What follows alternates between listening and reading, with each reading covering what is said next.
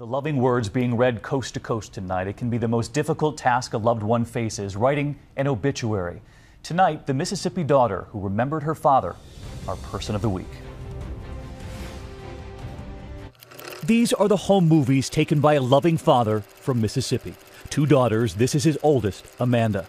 Through the years, he would document their childhood, their birthdays, and he would push them to great heights. My dad was crazy, irreverent, a character, but he was, he was there. And um, every kid should have a dad who's there. And so last week, when she learned from her mother that her dad, Harry, likely had just a few days left, she drove from Texas back home to Mississippi, filling this notebook with memories that would become his obituary. And she read it to us. Harry Weathersby Stamps, ladies' man, foodie, natty dresser, an accomplished traveler, died on Saturday, March 9, 2013. Harry was locally sourcing his food years before chefs in California started using cilantro and arugula, both of which he hated. For his signature bacon and tomato sandwich, he procured 100% all white bunny bread from Georgia and Tennessee's Benton bacon from his Bacon of the Month subscription. The women in his life were numerous. He particularly fancied smart women. He loved his mom, Wilma Hartzog. He married his main squeeze, Ann Moore, a home economics teacher, with whom they had two girls. He taught them to fish, to select a quality hammer. He took great pride in stocking their toolboxes.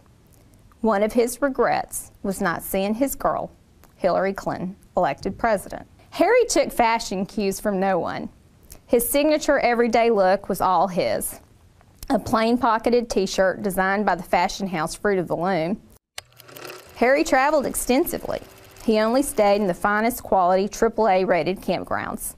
Many years later, he purchased a used pop-up camper for his family to travel in style, which spoiled his daughters for life.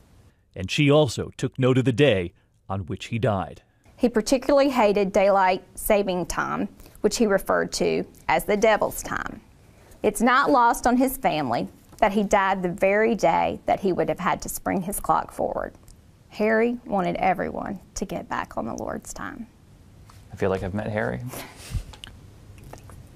She showed me the toolbox he so proudly helped her stock as a girl. So, if you don't know how to select a quality hammer, I will show you. Teaching us a lesson too. To turn it upside down and make sure it balances.